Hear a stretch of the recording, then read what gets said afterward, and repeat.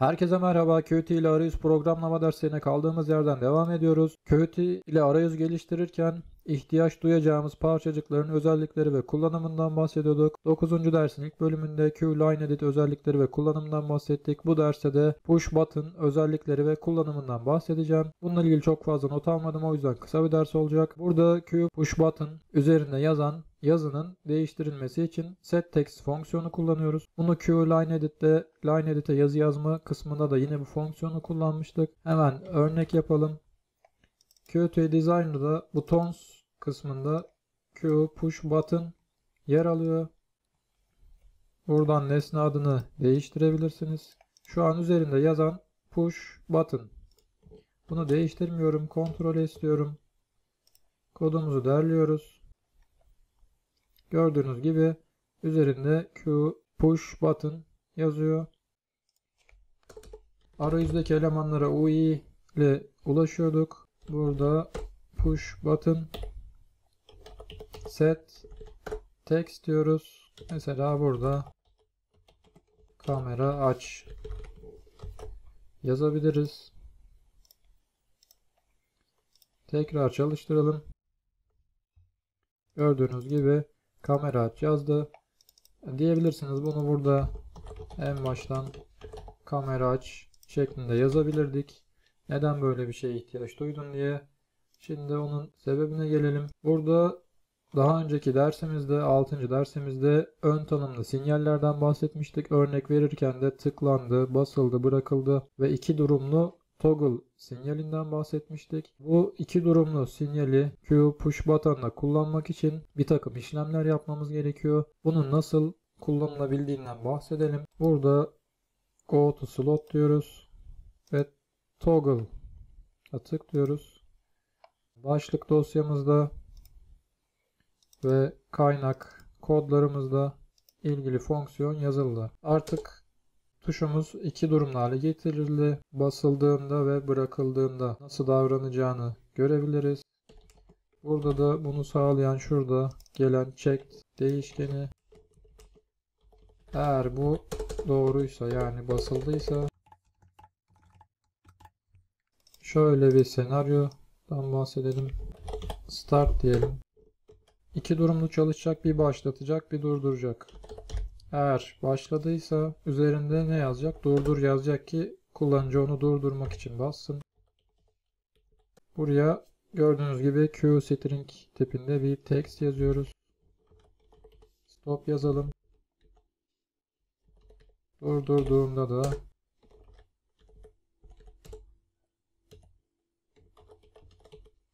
start yazalım. Bunun daha iyi gözükmesi için fontunu ve kalınlığını ayarlayıp kodumuzu çalıştıralım. Burada tabi kamera aç yazısı kaldığı için öncelikle kamera aç yazacak. Şunu silelim. Tekrar çalıştıralım. Gördüğünüz gibi iki durumlu çalışmıyor. Neden? Çünkü yapmamız gereken bir takım işlemler olduğundan bahsetmiştim. Bunu da iki şekilde yapabiliriz. Bir, kod ile set checkable fonksiyonuna true değeri göndererek. İkincisi de Qt Designer üzerinde checkable özelliğini aktif hale getirerek yapabiliriz. Biz bunu toggle olarak seçmemize rağmen iki durumlu çalışmıyor. Önce Qt Designer üzerinde yapalım. Şurada tuşunuz seçiliyken Checkable özelliğini aktif hale getiriyoruz. Ve şuradan açık olan uygulamayı kapatalım. Burayı temizleyelim. Tekrar çalıştıralım. Gördüğünüz gibi start stop istediğimiz gibi iki durumlu çalışıyor. Kullanıcı başlat diyor. Sonra durdurmak için yine aynı tuşa basıyor. Bunu iki düğmeli de yapabilirdik. Start için bir tuş, stop için bir tuş. Ama böyle daha şık ve daha kullanışlı oldu. Şimdi bunu kapatalım. Bu özelliği de kapatalım. Ctrl S ile kaydedelim. Bir de kod ile yapalım. Push button set checkable true diyoruz. Tekrar çalıştıralım.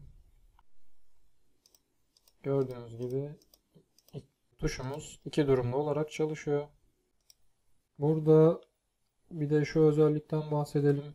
Bunun senaryosunu da şöyle anlatabilirim. Siz seri port bağlantısı yapmak için bağlantı fonksiyonunu kullandınız. Bunları da ileride göreceğiz. Ama bağlanmadı. Ama kullanıcınız da burada start'a bastı. Yani siz bağlanmadığı halde bunu yine ilk durumuna dönüştürmeniz lazım. O yüzden set checked fonksiyonunu kullanıyoruz. Set checked yani kullanıcı buna bastığında bunun durumu true oluyor ve buraya giriyor. Ben bunu tekrar ikinci bir tuşa basmadan false durumuna dönüştür diyorum. Çünkü bağlantı sağlanamadı. Tekrar çalıştıralım. Start'a bastık. Aslında stop yazar yazmaz tekrar bizim dışımızda tekrar tuşa basmışız gibi burada bu tuşun ikinci durumuna geçildi ve tekrar start yazdı. Bunu da bu tarz kamera aç dediniz. Kamerayı açarken eğer açılmadıysa veya seri port üzerinden veya TCP/IP üzerinden çeşitli bağlantılar sağlamak amacıyla kullanıcı o tuşa bastığında ama istediği durum gerçekleşmediğinde bu fonksiyona da ihtiyaç duyacağız. Bunları ilerleyen derslerde proje geliştirirken neden şu an bahsettiğimi de daha iyi anlayacaksınız. Push button ile ilgili bahsedebileceğim notlar şimdilik bu kadar. İlerleyen derslerde ihtiyacımız olan özellikler olursa tekrar bunlardan bahsederiz. Bir sonraki derste görüşmek üzere.